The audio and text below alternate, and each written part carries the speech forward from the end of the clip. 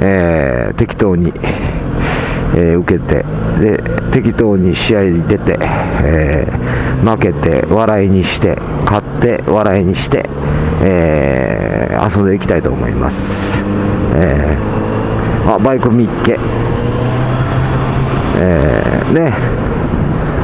で最近やっぱコロナウイルスで、まあ今日もほんまはね、京都でね、えー、ホーストカップかなんかいうのがあるんですよ。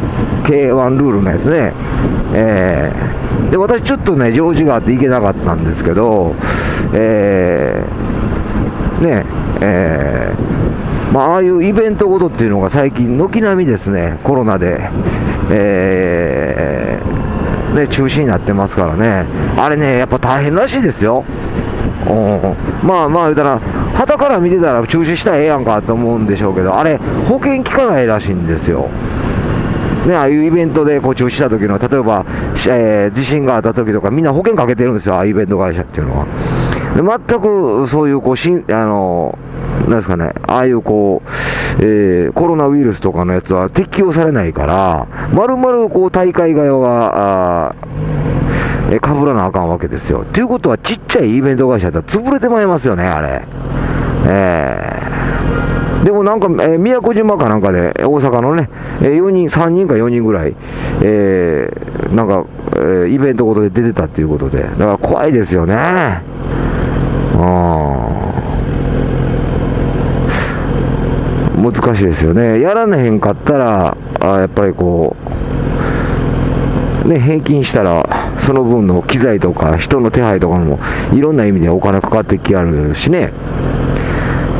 うん、やったらやったでこう、いろいろ電話あって苦情があったりするから、もう大変ですよね、ああいうイベントだっていうのは。っていう中でですね、私はですね、えー、コロナ対策で、えー、フルフェイスをかぶっております。はい。えー、でね、やっぱりね、うちの嫁ちゃんが言うブチブチブチブチ言うてますわ。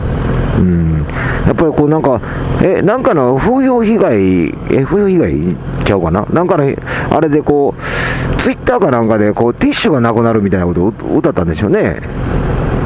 なんか言うたんでしょうね、誰かが。だから今もうコンビニエンスストアとか、スーパーで、あの、ティッシュ関係がなくなっちゃってますよね。ああ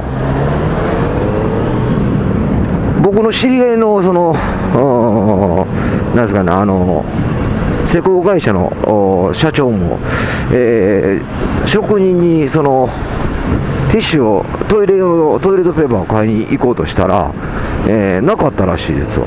うん実際に、えー、ねまあ、そんなことないんやろうけど、ああいうふうにもうちょっと、えー、パニック状態になっちゃってますよね。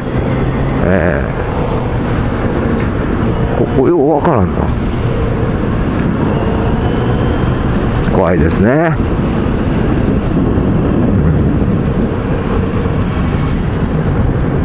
ね腰痛いなうん。でもね、ちょっとね、体マシになってきましたよ。えー、この間、朝見とそのバーベルで遊んどって、えー、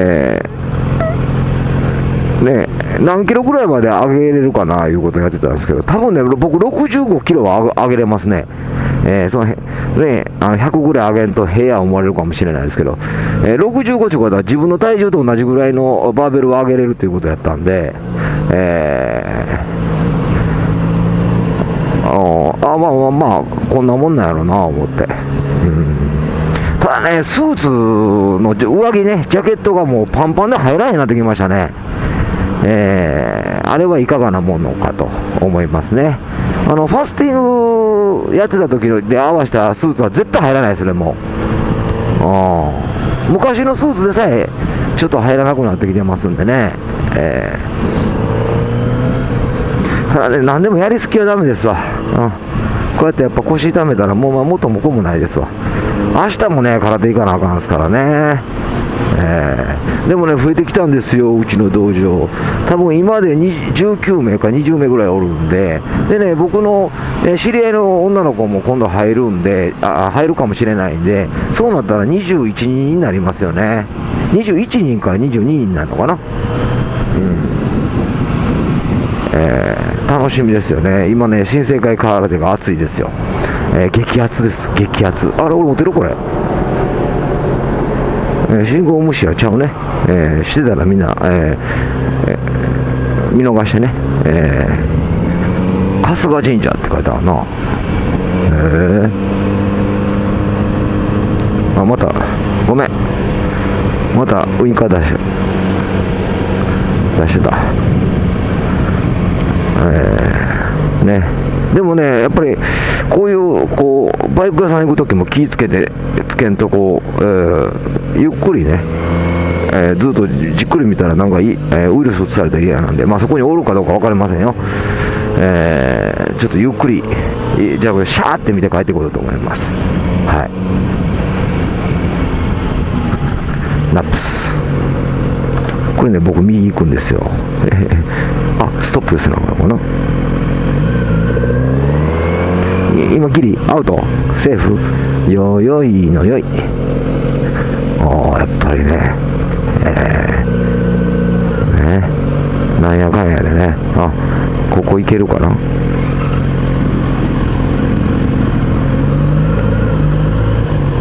いやいいやんかっこええバイクあるやん。はい。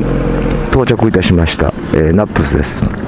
えー、私、えー、おたくさんのバイクに囲まれております。